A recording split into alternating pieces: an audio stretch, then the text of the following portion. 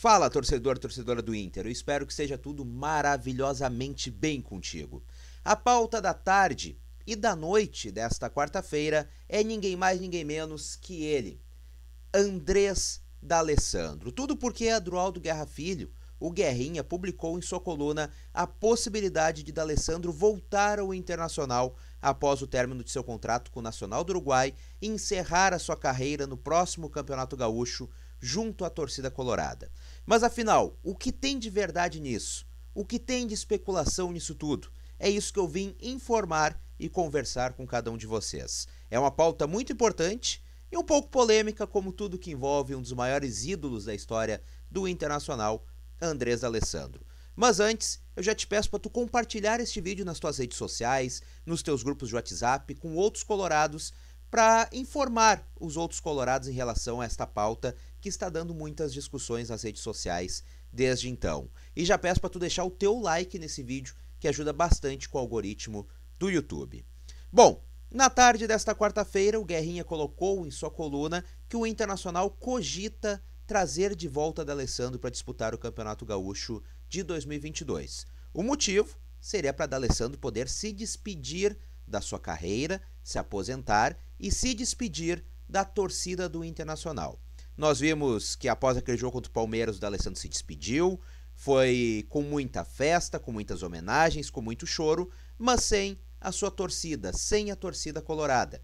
Então ele viria para poder se despedir com o público no estádio, como sempre foi muito próximo da torcida colorada.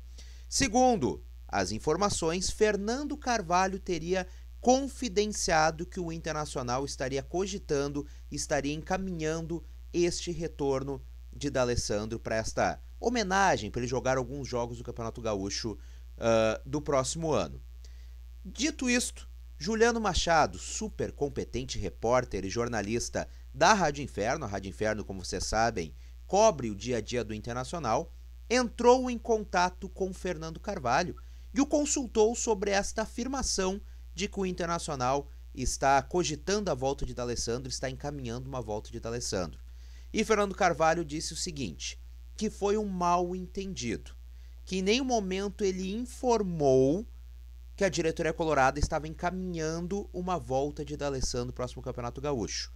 O que ele disse é uma vontade dele, que ele gostaria de ver D'Alessandro de volta no Campeonato Gaúcho de 2022 para se despedir do Internacional como merece. Então não é uma informação, houve este telefone sem fio, digamos assim, entre a coluna do Guerrinha e realmente o que o Fernando Carvalho disse e confidenciou para o Juliano Machado. Então, não, não é uma informação de que o Internacional está uh, encaminhando uma volta de D'Alessandro, e é sim uma opinião pessoal, um desejo do ex-presidente Fernando Carvalho, e somente isso. Eu sei que empolga muito e me empolga muito ver D'Alessandro vestindo a camisa do Inter novamente. Me empolga muito ver D'Alessandro se despedindo diante da torcida colorada, como deve ser um jogador do tamanho, da idolatria, da história de D'Alessandro no Internacional, mas neste momento não temos nada encaminhado, não temos nada se confirmando, somente uma opinião do ex-presidente Fernando Carvalho. Mas quem sabe, o contrato de D'Alessandro com o Nacional acaba no final deste ano. Quem sabe volte. Uma coisa eu tenho certeza, D'Alessandro voltará para o Internacional de alguma maneira ele voltará a atuar no clube. Se for dentro do campo para uma última homenagem, pode ser, mas acredito eu que será como dirigente do Internacional. Não sei se nessa gestão, não sei se numa próxima, mas fato é que uma história tão bonita, tão grande, com tanta idolatria como o de D'Alessandro com o Inter e sua torcida, não acaba assim. Tenho certeza que D'Alessandro ainda irá agregar muito ao Esporte Clube Internacional.